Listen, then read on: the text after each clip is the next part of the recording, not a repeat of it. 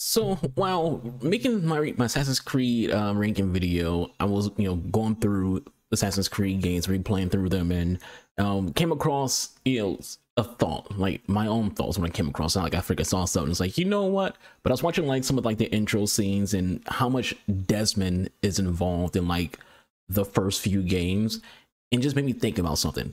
Desmond is an interesting character. He wasn't a massively popular character because the average AC player just wanted to stay in the Animus and play as the assassins.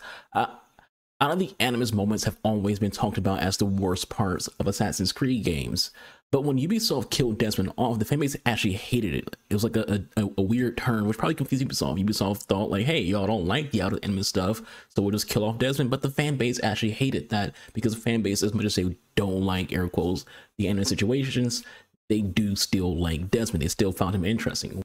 But one of the reasons why, you know, killing Desmond an awful such a, a poorly viewed thing was it was kind of sudden, you know. It, it it showed how poorly written his death was when it, when it, when you think about how he died, but also because it meant we weren't going to get we thought we'd get at that time we had expectations because viewers, gamers, whoever, when you play a video game and you get these cliffhangers and things like that, you feel like you know what the future is going to hold for something. Uh, and when it came to Desmond, we thought a game set in modern times where you play as, as just Desmond was in the works, was like a plan by Ubisoft because each game kind of like lended to the thought process that at some point you would play as Desmond.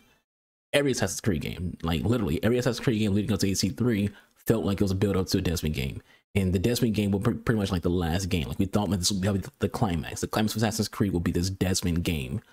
Clearly, Ubisoft didn't want there to be a last game because they want to milk the franchise to where we are now with 14 console main games and some some some uh, handheld games as well.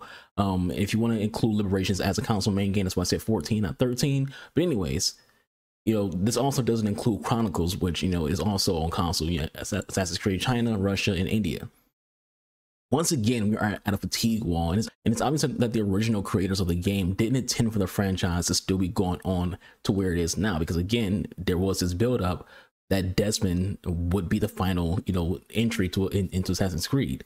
But this video isn't about the same Assassin's Creed; it's about Desmond. The first few games increase the time you spend out of the Animus. Some of them, like AC2, literally starts you off with you playing as Desmond breaking out of Abstergo with Lucy. You don't even start as, as like any kind of introduction to the assassin, to, like the assassins or Ezio. You literally just start off by trying to break out of Abstergo. Revelation starts off with Desmond talking to Subject 616. So again, you're starting the game off with Desmond. A core plot point of the franchise was the bleeding effect, an effect on Desmond from, from being in the Animus for too long, him learning the abilities and fighting prowess of each assassin that he learned from all his all his um his ancestors that he experienced inside the Animus. I remember thinking what a modern AC game would be like, how it'd probably have, you know, the visuals of Uncharted or Tomb Raider, but with Assassin's Creed gameplay.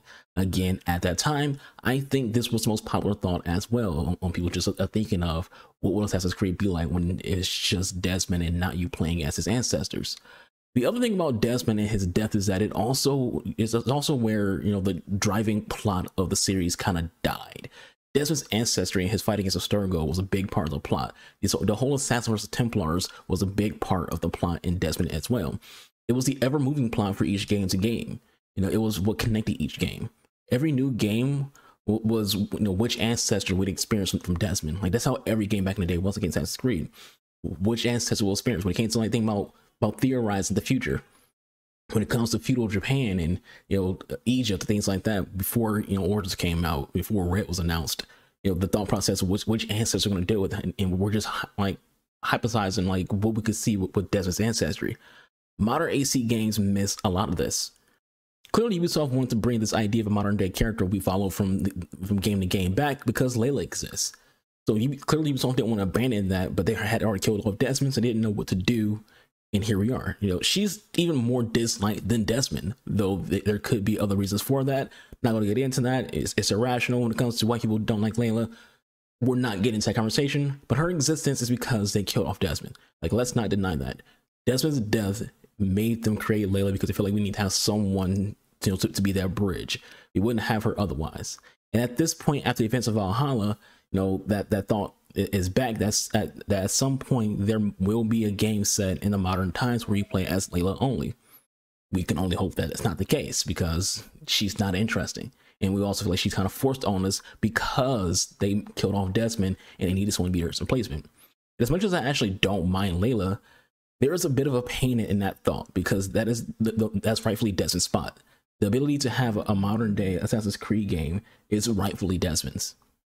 Everything we went through, AC1, AC2, Brotherhood, Revelations, Assassin's Creed 3, before his death, was leading up to something with him as a main character of his own game. We never got that payoff. And, and and that sucks. It sucks to like think about you know going back to those games and go like if you're a Assassin's Creed fan, go back right now and go play through AC one, two, Brother Revelations, and Assassin's Creed three. You will feel like this. You will feel this build up and how much it sucks that you just didn't get that payoff. And it's not like Ubisoft couldn't continue the series after that. They could have went with this this thought and they introduced Layla as like Desmond's daughter. You know, he grows he grows up, meets someone, um, has a kid, and becomes kind of what his own father was for him. But for Layla, if she was written to be his daughter, I think a lot of things would be different for Layla as a character and how she's received by the by the gamers. Remember what makes Desmond special is his ancestry, not the rest of the, the assassin's ancestry themselves. By that I mean, not every assassin in the Brotherhood is special. Desmond is because his bloodline, his bloodline, you know, comes from the fact that the, the Isu were intermixing with, you know, humans who, who are part of his bloodline. The other assassins, not all of them, some of them still, some of them do have that, that, that Isu, you know, mix, but not all of them have it. It's, it's a rare thing. And it's what makes Desmond and his family line special. Again, all this kind of just leaves a void in the game since Desmond's death. Each of them feel like there's something missing, and that something is Desmond. Layla cannot replace that, and Ubisoft knows that was just how little we, we are out of the animus with her. You know, Desmond, you were out of the animus with him a lot. Well, Layla is very rare because Ubisoft knows we don't care about her and they kind of don't either. She just exists to try to move the plot for, for the modern times, even though they don't need her to. They could have just did something else in this, in this specific uh, uh, spot. Hell, Mirage doesn't even have her in the game at all. Mirage, there is no animus moments. It's just an Assassin's Creed game. No, no animus moments involved in it. No modern day character. Just the same story, and that's it. Some people, you younger gamers who, who don't want to have to, to like play older games, might understand the importance of a connection this franchise. This franchise put a lot into the bloodline, pun intended. There's a PSP game, you know, Assassin's Creed game called Bloodlines. Um, but the connection is, is important. We see that even in, with Ezio. He might be the vast majority of the gamer's favorite assassin's character, but in lore, every assassin, except for those from the hidden ones, you know, since they do predate, you know, the assassins themselves and predate Altair, every assassin is trying to live up to who Altair was. In Assassin's Creed Revelations, Ezio is seeing visions of Altair, Ubisoft hinting at, at him chasing a ghost, which is a metaphor expression, if you will. If, if you're sport fans, you, you probably know this expression. You probably heard the saying of, you know, someone being a ghost, like you're, they're chasing the ghost of Michael Jordan. This expression is literally just means to chase or pursue something that is elusive or impossible to obtain. In this context, nobody can can be the master assassin that Altair was. You can get the rank of master assassin, but you never be who, who Altair was. He's considered the best at everything, the best swordsman, the best assassin. He saved the Brotherhood and made it great again. A lot about Altair is just this, this myth you know, Ezio achieves the rank of Master Assassin. He's the leader of the entire Brotherhood, but he's still chasing that ghost. Even if the tutorial Revelations is you following Altair. That connection is missing now. Sure, Kassandra is related to, to Layla and uh, and Aya, but that doesn't feel the same as Desmond related to Altair and Ezio and Edward Kenway and the Negation. Which modern assassins are related to like the Frye twins or Shay um, and Arno is unknown at the moment, unless Ubisoft considers the, the movie's canon. Then we do know who's related to Arno, and that would be you know Callum uh, Lynch, Michael Fassbender in the in the, the, movie. You know, his ancestor is not just Aguilar but also Arno. But again, that's if Ubisoft does or doesn't consider the movies be canon.